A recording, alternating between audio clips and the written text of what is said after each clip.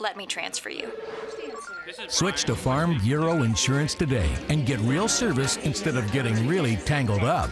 For auto, home, life, and health, get the membership advantage. Get Farm Bureau Insurance.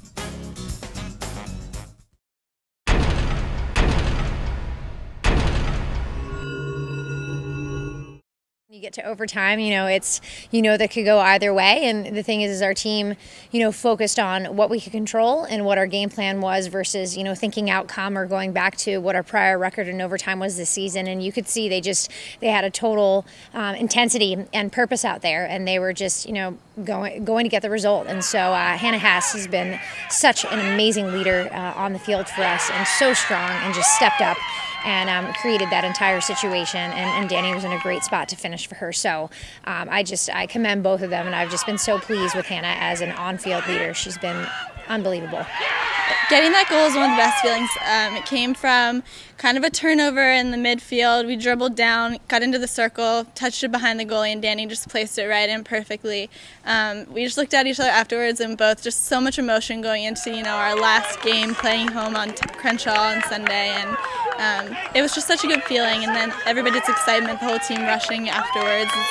You know, it's just a really good feeling. An awesome play by Hannah ran on an angle and beat three people, um, pulled the goalie to the right, and then slipped it to me, who um, was able to put an easy ball in the back of the net. So it was a great team effort today from start to finish. Um, 22 girls.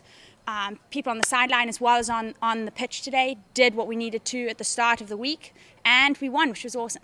My hope is at this point in the season, you always want your program to be clicking and, you know, all the lines coming together. And I, I was so pleased. We've we've worked on constantly changing little things in our press, you know, to face the opponents, and you know the entire team, you know, responded so well. We're we're not just you know fueling off of 12 players right now. We we've got 23 girls in check, and um, and it's showing, and and the team is, is starting to peak and.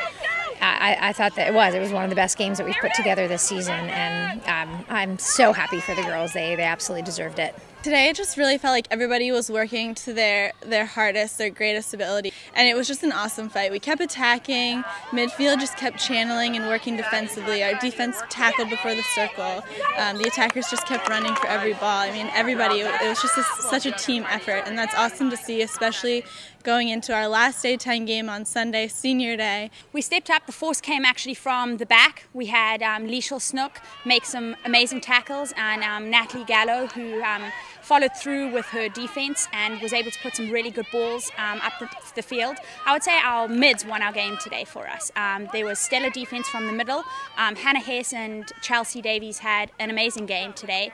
Um, they knew when to attack and were, were fierce um, on their defense. The challenge today was really to put together 70 minutes of hockey and we came out and we did that. We probably played one of the best games we've played yet. And then not only did we play 70 minutes of hockey, but we took it to 80 minutes and still came out on top. So it was a really good day for starting hockey.